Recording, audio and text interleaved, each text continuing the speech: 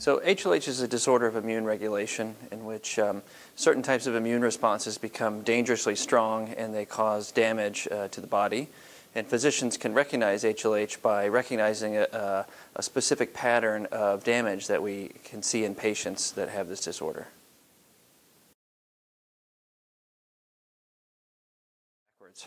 So uh, patients with HLH um, uh, are um, quite varied. So uh, historically, it was recognized that uh, very young children, usually infants, that uh, perhaps uh, came from families with other children that were affected by HLH would develop this disorder without any obvious sort of cause, any sort of uh, infection that may be sort of triggering the HLH. But it was also recognized that there were older children, maybe grade school age, uh, teenagers, and we recognize now even adults uh, that may develop HLH. Uh, and uh, in those situations, uh, historically, it was recognized that there was uh, less, um, less likely that they would come from families where other individuals were affected with HLH. It was also more common that uh, these individuals would have um, a strong infection, such as EBV, that might be associated with sort of setting off the HLH. Uh, alternatively, they could have a malignancy, such as a lymphoma or leukemia, that could actually have triggered the HLH. Uh, or they could have a rheumatologic disorder, such as uh, JIA or juvenile idiopathic arthritis, that is was sort of the context in which the HLH arose. Uh, and uh, so it was recognized historically that there is a wide um, uh, range of patients, and they sort of naturally fell into these two categories. But that was really, uh, that classification was developed before the modern era of genetic testing. And now with genetic testing, what we find is that, uh, as expected, most infants with HLH do, in fact, have a, a, definable genetic cause. So in other words, they're born with a, with a certain set of genetic abnormalities that predispose them to developing HLH uh, in a very serious sort of way. Uh, but we're finding increasingly that older children and even adults, in fact, also have genetic uh, problems that predispose them to develop HLH. The only real difference uh, for many of these patients is that a lot of these uh, mutations appear to be milder in the individuals that don't get sick until they're, until they're older. So um, I, I, it's my personal opinion that I, I, think this division between primary and secondary HLH is really not very helpful because the, the, the dividing line has gotten very blurred.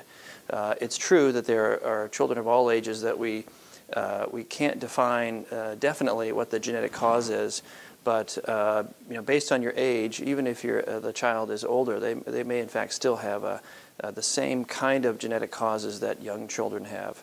Uh, but you'll still see this terminology. It's very widely used. Uh, and uh, like I said, I, it's my personal opinion. I'm, I'm, not sure how helpful that is. Now, in the case of adults with HLH, as I already mentioned, there are some adults that, um, in fact, do have genetic uh, abnormalities that we think predispose them to develop HLH.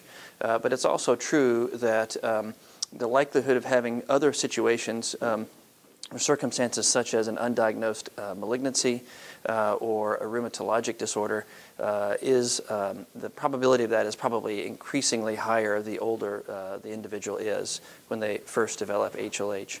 Uh, so it's really more of a continuum. Uh, and I would think, uh, like to describe it as individuals with very severe mutations get sick at an early age, and that's the sort of the classic primary HLH individuals with uh, milder mutations, uh, they may get sick uh, older and may fall somewhere in the middle and individuals with even very mild mutations may develop HLH under the right circumstance. So for instance, it's, it's increasingly clear that individuals that uh, develop um, uh, HLH, known as uh, known by the terminology as MAS, which is another discussion, but uh, that develop HLH in the context of rheumatologic um, disorders such as JIA, uh, that many of those patients, in fact, actually have mild mutations that are the same sort that we see in infants with, with classic primary HLH. So uh, there's really a continuum, uh, and I think that adults with HLH are at one end of the spectrum and infants are at the other, but it's difficult to draw um, uh, definite lines between these, these groups of individuals. So uh, if somebody is an, uh, is an adult, uh, I tend to encourage referring physicians to look extra hard for these additional associations because we know the chances of there being something else going on in this patient besides just HLH uh, are higher in an older individual. So I encourage them to look very, very carefully for uh, infections, uh, look very, very carefully for malignancies uh, and any other sort of rheumatologic diagnosis that could perhaps be uh, an underlying cause of the HLH. So when patients first are diagnosed with HLH, as, uh, as I mentioned, there's a certain pattern of damage that's occurring in the body that allows physicians to recognize the, the syndrome as HLH. Uh, the, it's really like things are on fire, right? So the, the immune system, uh, the immune response is um, extremely strong, very damaging, and, and causing all sorts of problems. So, so really what, what you start with is like a fire extinguisher. You need to put out this flame.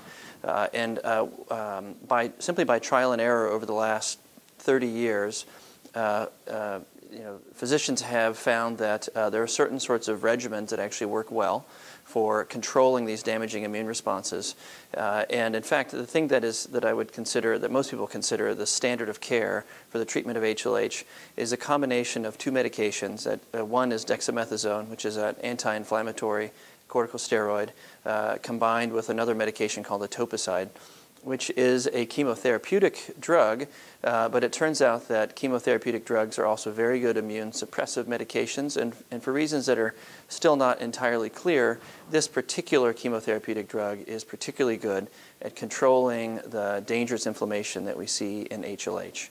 Uh, and so the, um, the, uh, this regimen cons- uh, incorporating these two medications, dexamethasone and etoposide, has been tested in two international worldwide trials over the last 15 or uh, almost 20 years now. Uh, and so that's why most people feel that, uh, that this is really the standard of care, this regimen. Uh, and, um, uh, but there are also alternative ways to treat HLH. So as, as we mentioned, this is a, a, problem of immune regulation, and so there are alternative forms of immune suppression consisting of, principally consisting of uh, antibodies that destroy T cells, which are the main sort of troublesome cells in this, in this process.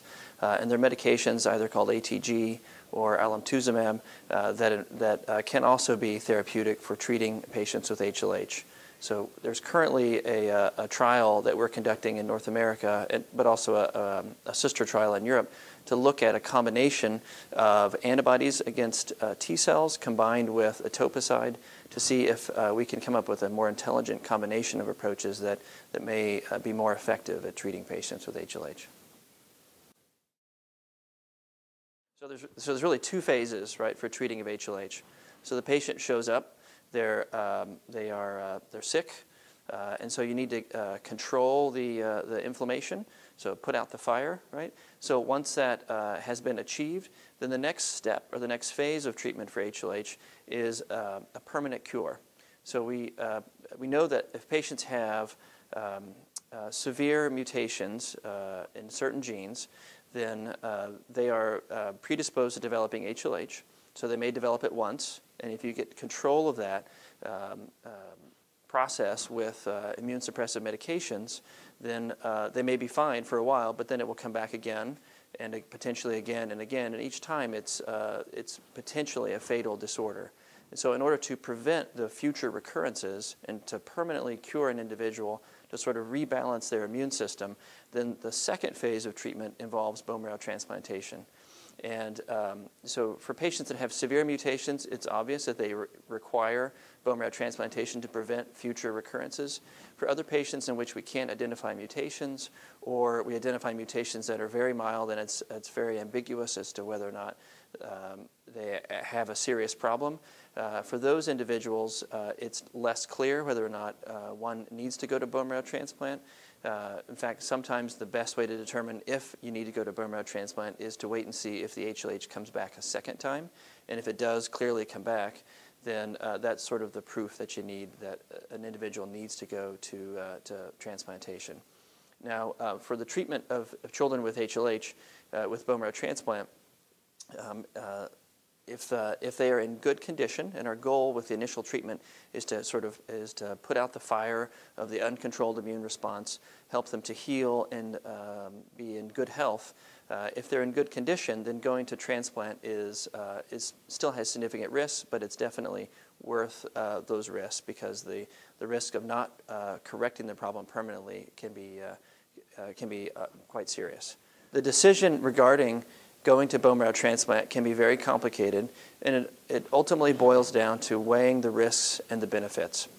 Uh, if uh, a child clearly has, um, uh, it's, if it's clearly inevitable that HLH will come back repeatedly in a child, then uh, the risks of transplant are clearly worth it. If it's not clear whether HLH will return, then, uh, uh, then it's not clear that bone marrow transplant is justified.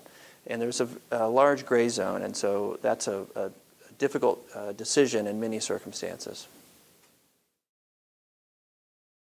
So HLH uh, can uh, affect many organs in the body. So uh, it affects very prominently the bone marrow. it may affect the liver. and um, it may, children may be sick with damage to a variety of places in the body. But the one area of the body that can be affected that uh, raises the most questions about long-term effects is the central nervous system, so the brain and the spinal cord. Uh, and involvement of the central nervous system is quite variable uh, from, from one uh, individual to another.